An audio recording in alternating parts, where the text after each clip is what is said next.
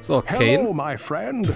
Stay a while and listen. Ja, stay a It while, listen. seems that the Archbishop Lazarus goaded many of the townsmen into venturing into the labyrinth to find the king's missing son. He played upon their fears and whipped them into a frenzied mob. None of them were prepared for what lay within the cold earth. Lazarus abandoned them down there, left in the clutches of unspeakable horrors to die. Ja.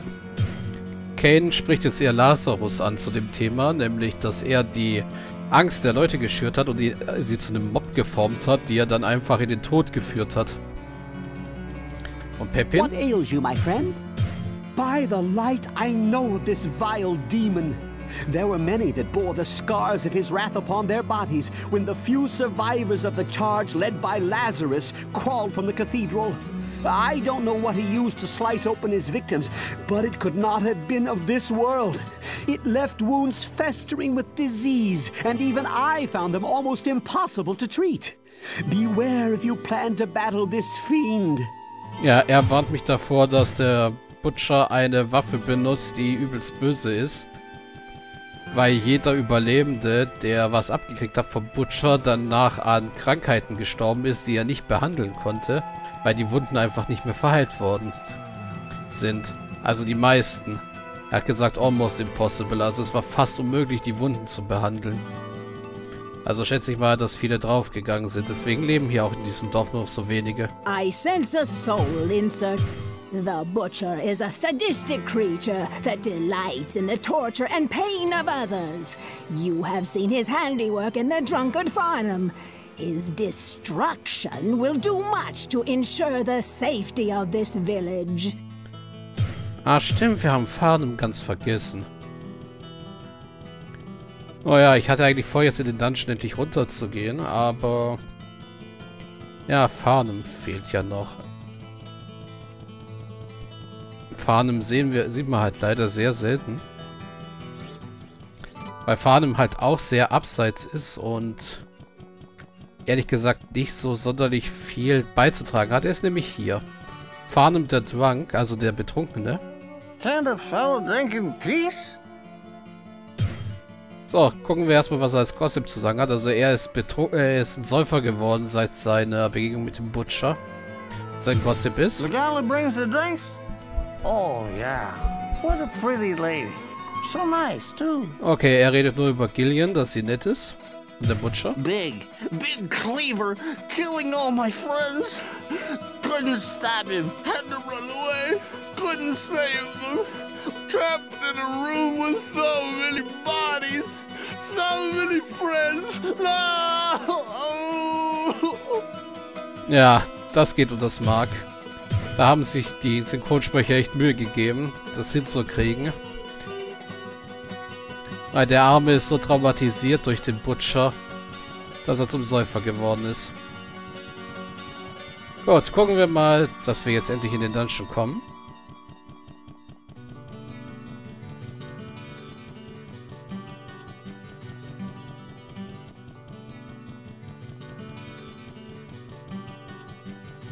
Your death will be avenged. So, Stufe 1 des Dungeons und wir The können die Map sanctity of this an place has been anmachen. Ja, die Heiligkeit dieses Ortes wurde verunreinigt. Weil wir sind hier in der Kathedrale. Und da ist unser erster Gegner. Und unser erstes bisschen Gold. So, wir müssen, wir sollten auf jeden Fall schön viel rumballern. Dass wir auch ja alles treffen, was in der Dunkelheit so auf uns lauert. Oh, Potion of Full Healing. Wie nett.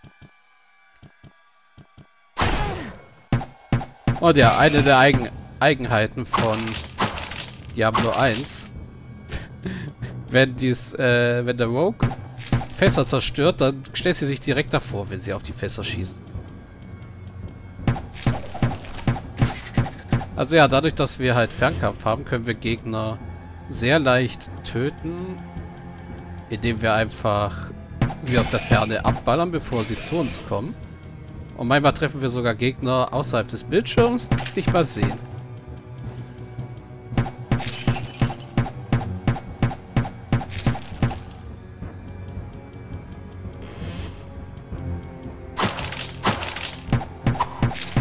Ja, außer sie stehen aus Fässern direkt vor uns auf.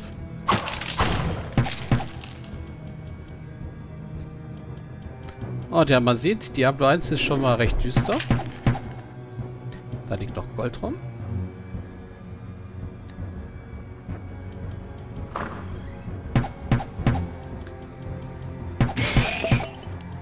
Da drin brennen Scheiterhaufen.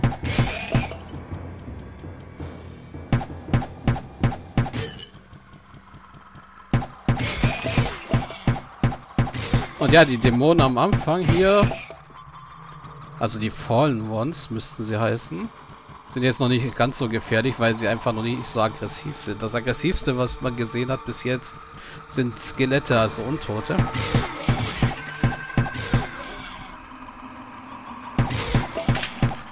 So, unser erster Level up.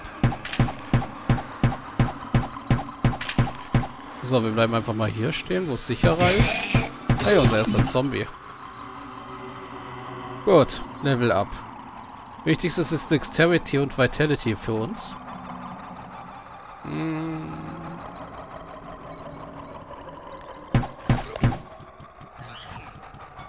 Machen wir mal hier die Tür lieber zu. Äh,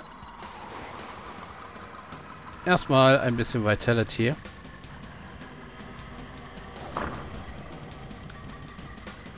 Und danach packen wir ziemlich viel in Dexterity, damit wir mehr treffen und mehr Schaden machen. Hier sehen wir doch einen Vorteil der, des Rogues. Ich will immer sagen des Sorcerers. Aber Sorcerers ist ja Diablo 2. Ein Vorteil des Rogues. Wir können durch diese Gitter schießen, während die Gegner nicht zu uns durchkommen. Ein Schwert. Und ja, wir gucken, dass wir so viel wie möglich einsacken, was wir finden, weil am Anfang brauchen wir Geld.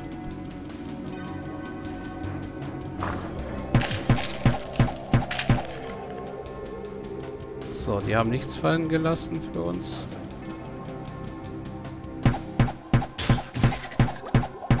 Hey, ein Shotbow, ein unidentifizierter. Fallchen. So.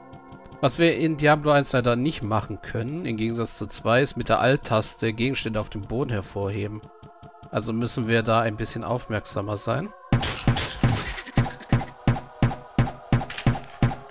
So.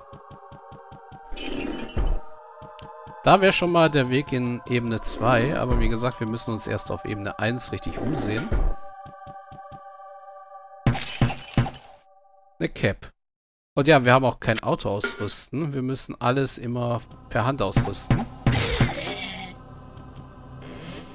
Also wenn wir leere Slots haben. Ah, wir haben aber schon mal ein Rüstungsteil.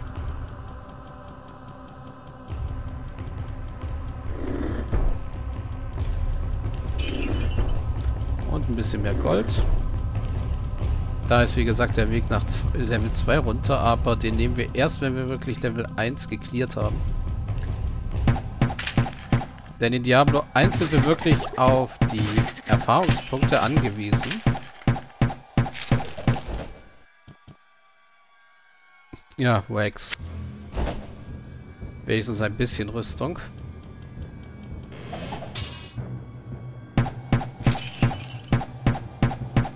Wobei es halt auf Stufe 1 nicht wirklich was gibt, was uns arg gefährlich werden könnte. Außer große Ansammlungen von Gegnern.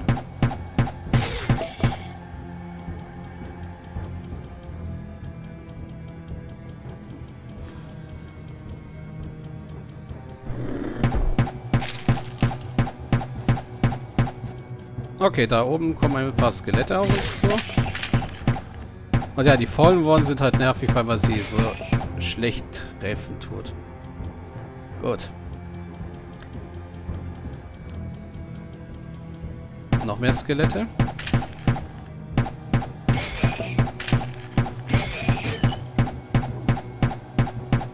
Offene Räume können halt ein bisschen blöd sein.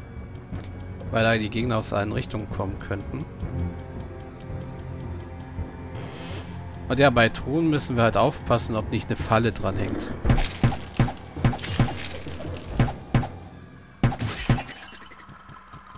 So, wir haben schon unser zweites Level ab.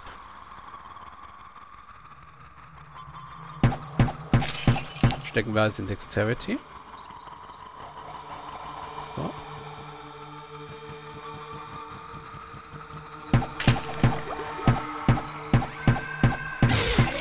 Dadurch lassen sich Gegner besser treffen.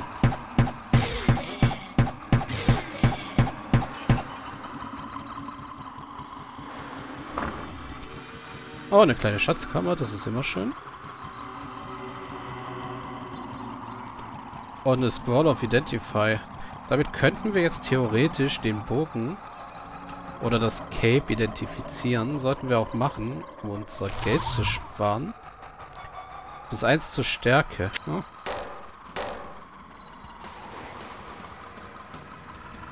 Ja, ist okay.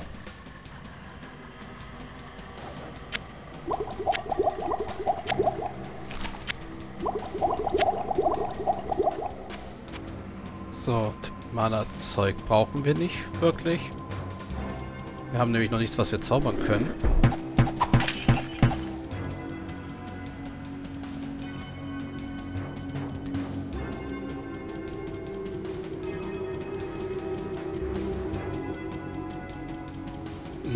Fässer.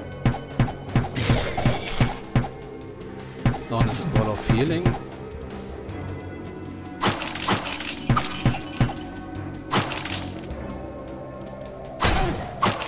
Au. Hey, da sind unsere Wax kaputt gegangen. Haben sie uns nicht lange geschützt.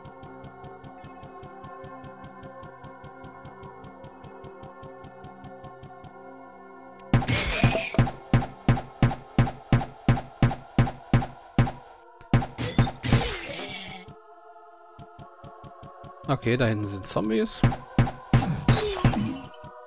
In Diablo 1 sieht man auch keine Health Bars von Gegnern. Man ballert halt so lange drauf oder hackt so lange drauf ein, bis sie tot sind.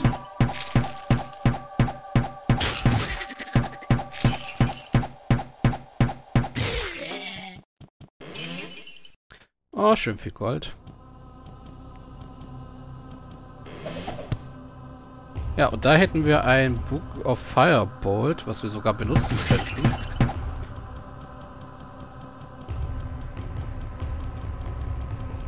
Aber Offensivzauber wären eher was für unser, für einen Mage, äh, also für einen Sorcerer nachher.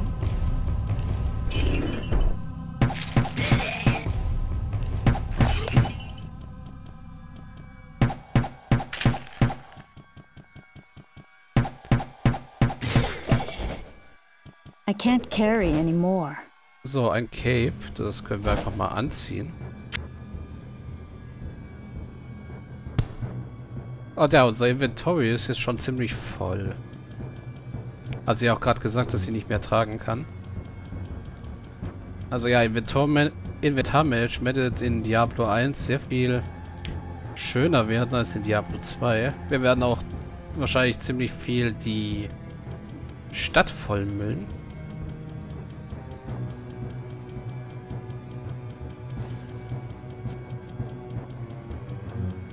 Mit Gold jedenfalls.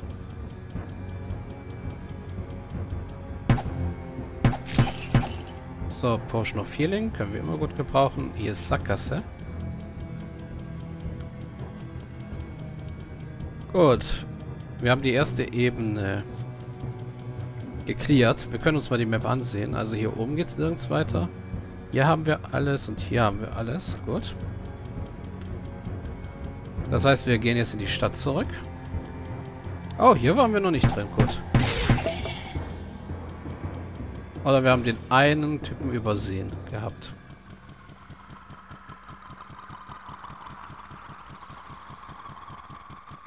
Ja, wie gesagt, wir sind nicht sonderlich schnell. Und da ist auch noch ein Zombie sogar übrig geblieben. Also ja, wie gesagt, es gibt keinen Respawn in diesem Spiel. Und im Singleplayer ändern sie, also im Singleplayer gibt es keinen Respawn und ich sagte, es gibt keinen Respawn, also bleibt tot. I have no room. Hm.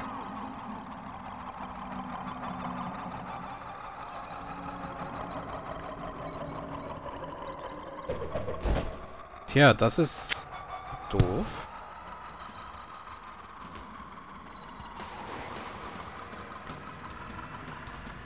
Okay, sammeln wir den auf dem Weg nach unten wieder ein.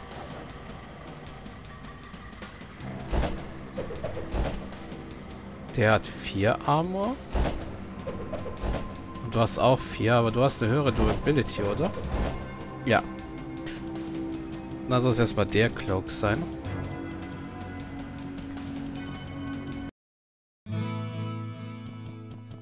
Und ja, er bleibt halt so lange da tot liegen, bis wir seinen Tod gerecht haben.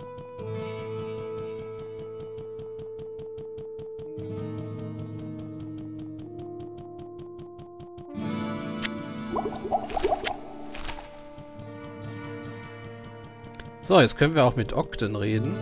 Greetings, good master. Welcome to the Tavern of the Rising Sun. Jillian, my barmaid? If it were not for her sense of duty to her grandam, she would have fled from here long ago. Goodness knows I begged her to leave, telling her that I would watch after the old woman, but she is too sweet and caring to have done so. Ja, jetzt geht es gerade darum, dass Gillian ihre Mutter nicht, Großmutter nicht allein lassen will. Und der Yes, Butcher. Farnham has mumbled something about a hulking brute who wielded a fierce weapon. I believe he called him a butcher. Ja, und das ist wie, da bestätigt er nur, dass Farnham über den Butcher geredet hat. Dann können wir uns mal anhören, ob die Leute jetzt was Neues zu sagen haben. Oh, Gillian is a nice lass. Shame that her gammer is in such poor health. Or I would arrange to get both of them out of here on one of the trading caravans. Ja, da redet äh, Griswold darüber, dass er Gillian und ihre Mut Großmutter am liebsten aus der Stadt schaffen würde. Gut, Deckard. Hello, my friend. Ogden has owned and run the Rising Sun Inn and Tavern for almost four years now. He purchased it just a few short months before everything here went to hell. He and his wife, Garda, do not have the money to leave as they invested all they had in making a life for themselves here.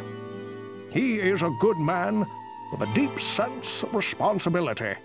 Ja, da geht es um Ogden, dass er die Stadt nicht verlassen kann, weil er kein Geld mehr hat. So, Identify. Wir können jetzt das Cape identifizieren. Plus 3 zur Stärke. Hm, ja, ziehen wir ruhig an.